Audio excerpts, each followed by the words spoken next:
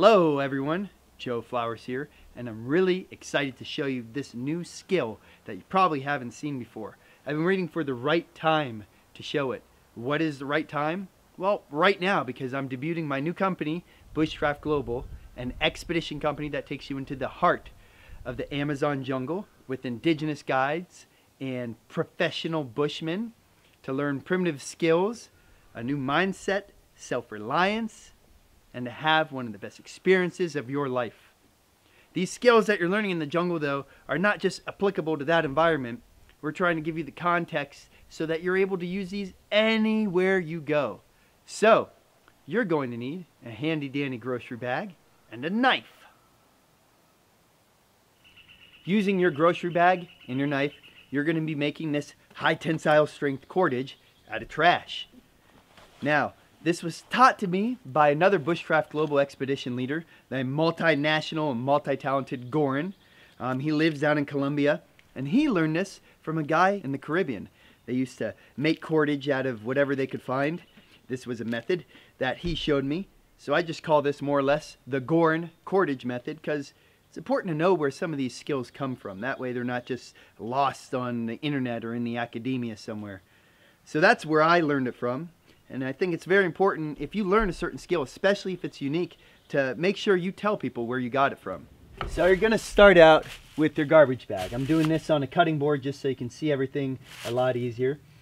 You wanna cut it into strips horizontally or just along the plane. Uh, you can separate this. Maybe I'll just kind of, believe it or not, this, if you do it correctly and you practice a lot, this will yield a long piece of cordage. And maybe I'll cut that off. I don't, you don't really need to worry about that too much. So your next step is to fold it. And as you can see, I'm pushing the air out of it. That's super duper important. Really important. Get the air out of there. Otherwise, you're going to create weak spots where the air is going to push the bag open. And it's not going to be able to weld when you twist it. So I'm folding it both towards the inside. I like to do it that way. I've seen it done to where you just make it like that too. This is just how I do it personally. I don't know why, but that's how I do it. Maybe I like tamales too much, who knows. Now we're still pushing all the air out. I'm gonna fold this again. And I'm gonna try and fold it another time to try and get it as thin as possible here. Like this and bite it. And start to twist while still pushing the air out. Like that. And then twisting a lot. Twist, twist, twist. Twist, twist, twist, twist, twist, twist. Keeping that twist. Are you ready for the next part? Because your mind's about to be blown away.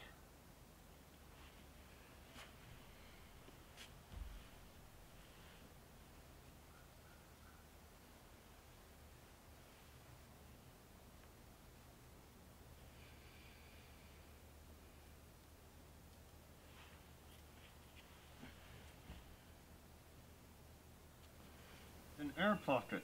Remember how I said air is your enemy? That's still the same deal. We want to slightly pull those to good amount.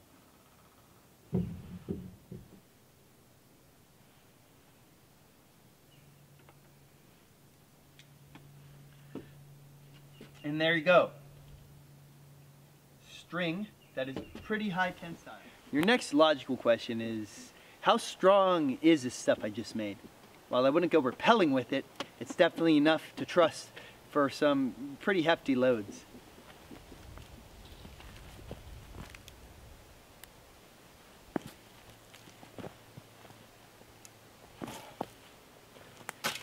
Now I'm just kind of rocking back on it. I've got this other stuff that Goran made in Colombia. Really strong.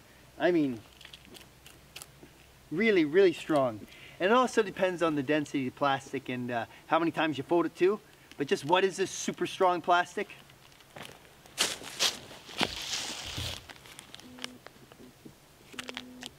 You see that? It's just a Coca-Cola wrapper from Colombia.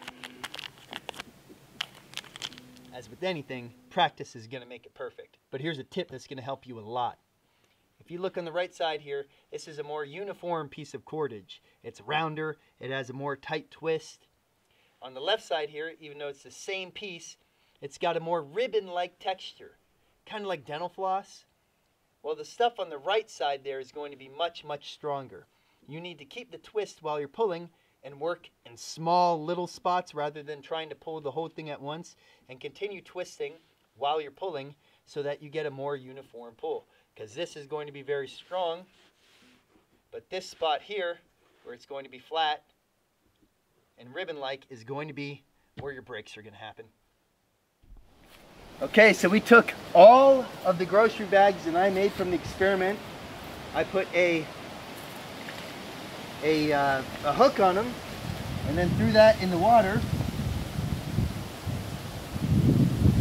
and caught this catfish just leaving it in there.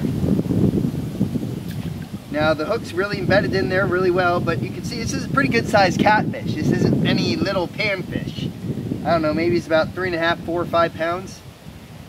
And it held on there with this stuck in the ground and then these knotted together. This wasn't even one continuous piece of uh, grocery bag string. You know, knots are supposed to cause a weak part in any piece of cordage. And it still held really, really well. So there's a test that I'm pretty happy with. We'll go ahead and let this guy go.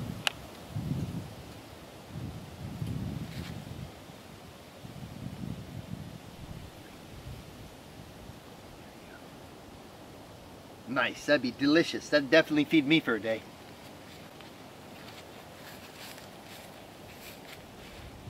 Now to get all this muck and snot off my hands.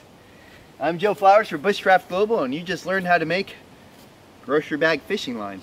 You've been watching how to make Goran cordage or cordage from a grocery bag, turning trash into treasure.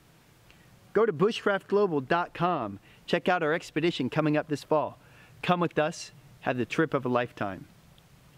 Also, subscribe down below to learn unique tips and techniques that you won't find anywhere else.